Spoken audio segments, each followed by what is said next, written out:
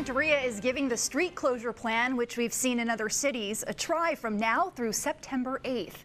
Barricades have gone up in a two block area from 6th Street to 8th Street to allow for outside dining, strolling, and bike riding in the area where cars normally travel. The cross streets remain open.